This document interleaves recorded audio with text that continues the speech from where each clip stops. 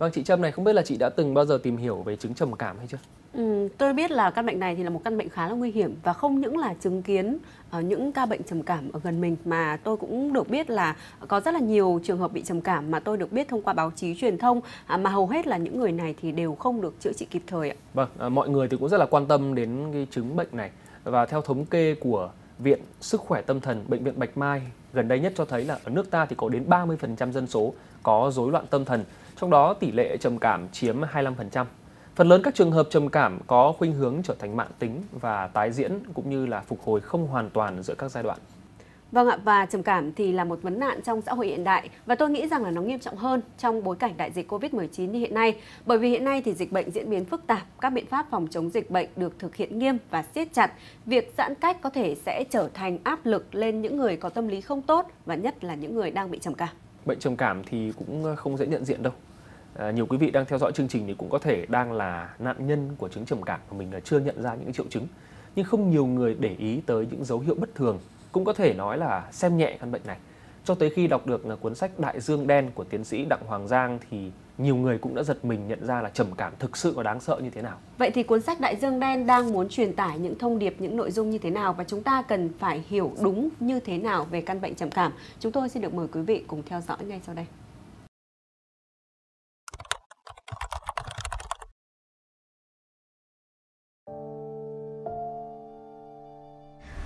Covid, cách ly rồi quan hệ với bạn trai hiện nay của tôi gặp trục trặc.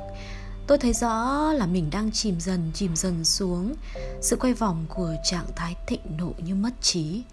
Không hẳn là tôi muốn chết, nhưng chắc chắn là tôi không muốn sống. Tôi đang không ổn, rất không ổn. Liệu tôi có đang ở tình trạng của những ca mà tôi nghe được lâu nay, người ở cùng và chăm sóc những người trầm cảm lâu ngày cũng thành trầm cảm Đến tuổi này thì tôi cũng không biết mình sinh ra trên đời này, sống trên đời này để làm cái gì.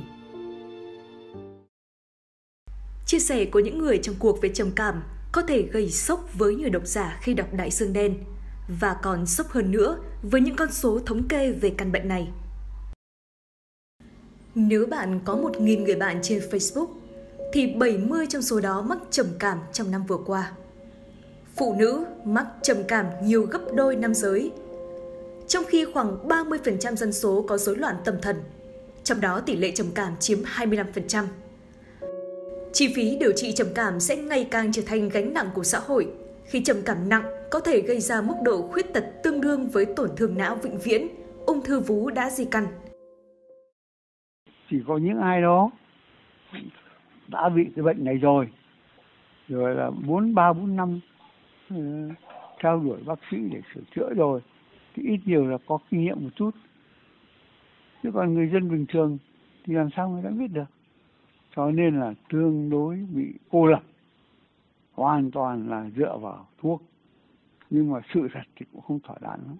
Một bác sĩ khám bao nhiêu bệnh nhân xếp hàng dài dằng dặc. À, giờ đâu mà người ta ngồi tới diễn giải cho được một từ từ mà người ta chỉ đảm bảo là khám rồi bán rồi kê đơn rồi rồi thuốc. Rồi nói một vài câu gì đấy thêm nữa nói mỗi rồi rồi lấy ra lại người khác vào hiệu quả thấp. Đại Dương Đen là một trong ít những cuốn sách đề cập chuyên sâu đến căn bệnh trầm cảm, được viết bởi một tác giả người Việt Nam. Không chỉ chia sẻ những câu chuyện trong bóng tối từ người trong cuộc, cuốn sách hệ thống lại toàn cảnh lịch sử, nguồn gốc, hình hài của căn bệnh, những thông tin cần thiết để người đọc không chỉ có cái nhìn khoa học mà còn có sự thấu cảm với những người đang mắc phải căn bệnh này.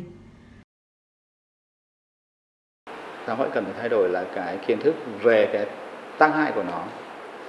Thứ nhất là nó là cái gì, dấu hiệu ra sao. Cái thứ hai là tác hại của nó là gì. Và cái thứ ba rất là quan trọng là cái định kiến và cái sự kỳ thị. Bất cứ một cái xã nào, một cái phường nào cũng có một cái trạm y tế. Thì tại sao chúng ta lại không có một cái trạm y tế tinh thần sẽ cần phải thay đổi nhận thức về căn bệnh trầm cảm.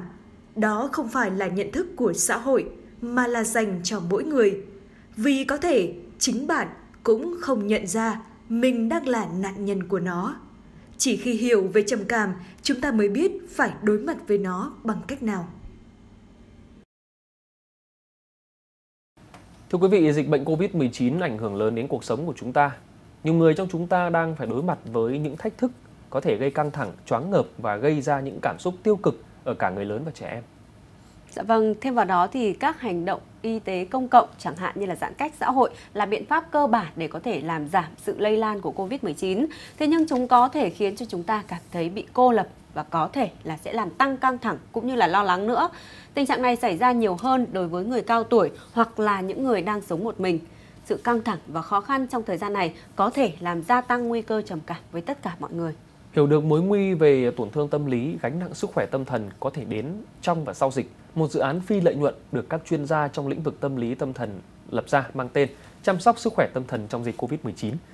Thông qua dự án, các chuyên gia sẽ hỗ trợ khám và tư vấn miễn phí thông qua hình thức trực tuyến về các vấn đề liên quan đến sức khỏe tâm thần cho đối tượng là trẻ em, thanh thiếu niên và người lớn.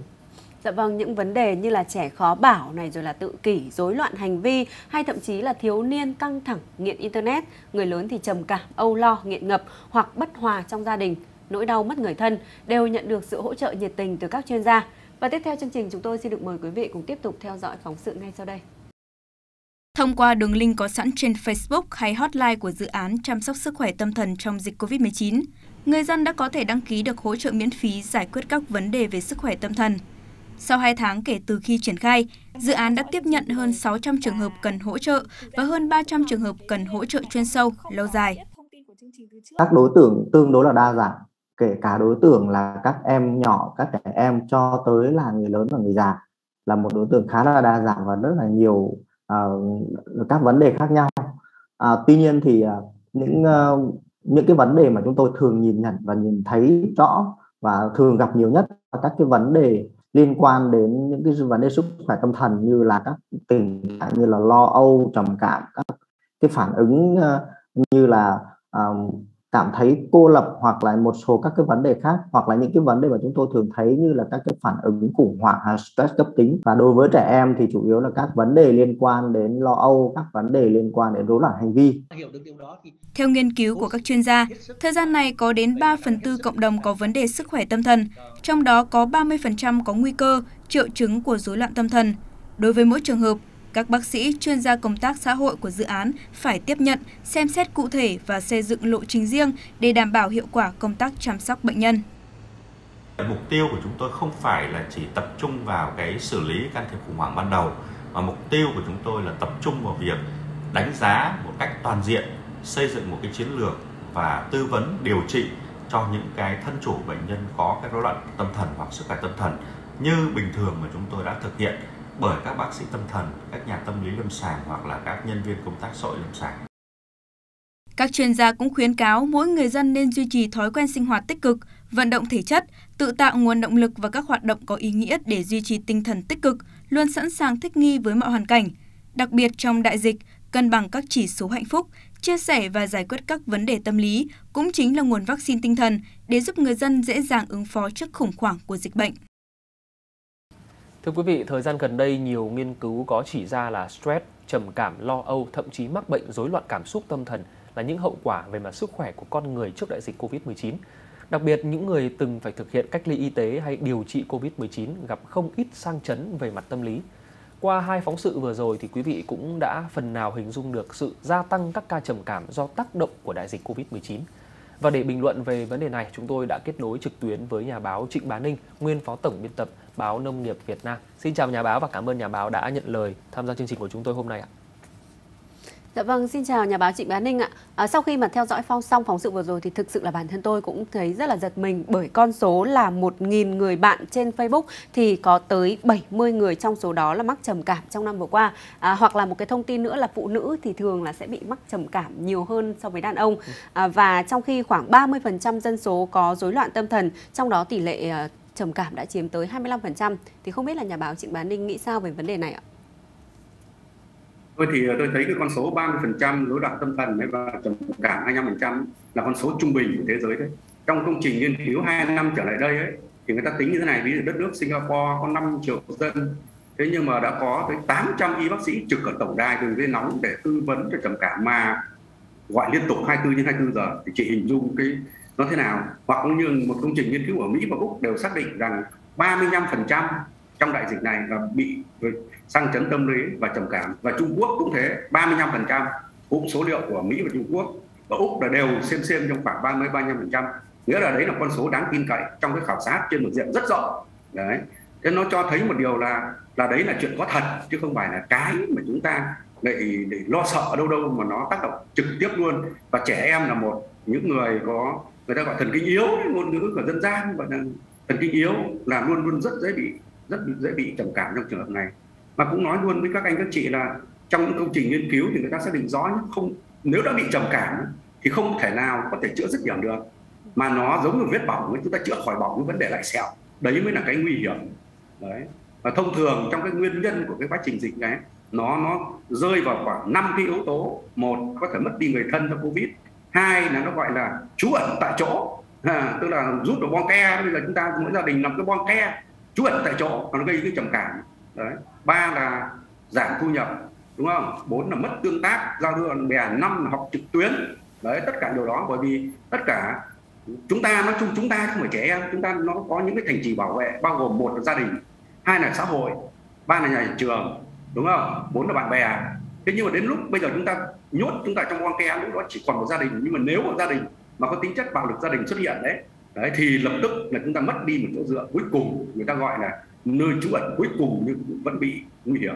Tôi thì tôi đọc rất nhiều tài liệu này cũng, cũng là bởi vì tôi là có người thân đang nghiên đang đang nghiên cứu về cái cái trầm cảm này ở bên Mỹ. Nên tôi có người thân thì hay trao đổi và thì đều thấy một cái tình huống là rất là rất là gay đó là căn bệnh xã hội rất là mệt. Việc ra đời với trung tâm mà để chăm sóc sức khỏe tâm thần ừ, tư vấn miễn phí là một việc cực kỳ cần thiết trong thời điểm này. À, cái thực trạng là có một sự chênh lệch nhất định cái công tác chăm sóc sức khỏe tâm thần, rồi tư vấn tâm lý cho người dân tại những khu vực vùng sâu, vùng xa, những vùng khó khăn thì vẫn chưa đạt được cái tỷ lệ cao. Và rõ ràng là có những người dân đang ngày ngày phải chịu những vấn đề áp lực về tâm lý, nhưng họ không biết phải giải bày rồi chia sẻ cùng với ai. Nhà báo nghĩ sao về câu chuyện này trong thời gian tới ạ? Chúng ta cũng chả nói đến đâu sâu xa gì nữa. Chúng ta là thấy các khu đô thị lớn, đời sống công nghiệp.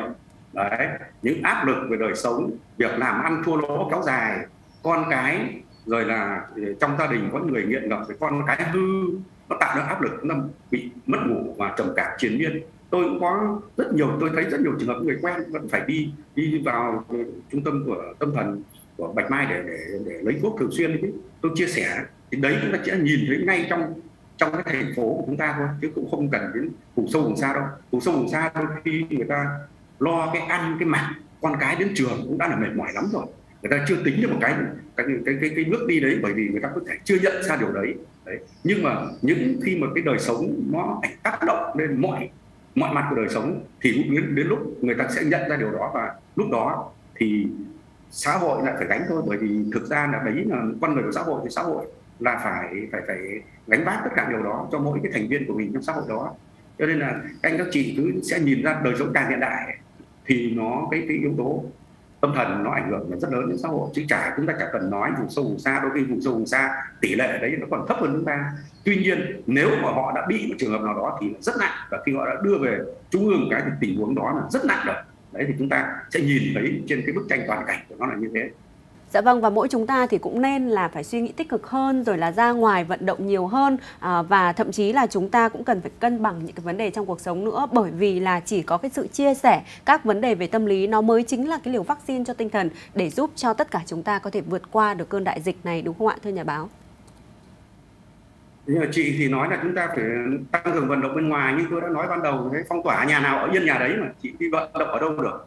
Chỉ ra ngoài cái tập thể dục á làm sao được? Cho nên là người ta gọi là cái cái cái, cái trận phong tỏa người ta gọi là nơi trú ẩn mà là nó rất là, là, là nguy. Khi chúng ta nói ấy, thì có thể chúng ta nói với nhau được nhưng nhưng mà để thực hiện nó để thắng được chính mình không phải là dễ. Cho nên trong tất cả những lời khuyên về tư vấn bao giờ người ta cũng khuyên là thế này một cách nó rất là thiết thực là trong mỗi gia đình anh phải lập một kế hoạch nó phải có kế hoạch. Nó mặc dù anh ở ở phong tỏa trong gia đình anh nhưng mà anh phải có kế hoạch ngày giờ làm việc gì để tạo ra các thói quen chứ không thể là mỗi người một thói quen như thế là nó tạo ra sự hỗn loạn đấy, và người ta rất dễ bị cô đơn.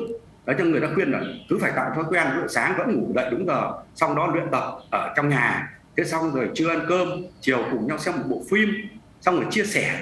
Đấy, những khó khăn chỉ có cách đấy thôi, tức là nó vẫn phải tạo ra một cái cộng đồng nhỏ trong gia đình mình. Còn nếu để cho cho cho một mình anh ta tự chống chọi thì tình huống cô đơn, nó cô đơn ngay chính gia đình mình mà, nó sẽ rất nguy hiểm nó lại tiếp tục sang chấn. Lúc đó anh thận liên kết với trang web mà trang web những trang web đó nó lại không lành mạnh chẳng hạn. Tình huống lại bắt đầu phức tạp lên rất nhiều. Người ta gọi là những hội chứng như thế người ta gọi hội chứng nơi trú ẩn ấy. đấy trong các tài liệu nghiên cứu khoa học của úc ấy, người ta gọi đấy là hội chứng nơi trú ẩn. Mà điều đó nó rất là rất là nguy. Cho nên tôi nghĩ rằng trong trong mỗi gia đình ấy, đặc biệt có trẻ em là chúng ta phải duy trì cái nếp sinh hoạt đó. À, xin cảm ơn những chia sẻ đầu tiên của nhà báo trong chương trình hôm nay của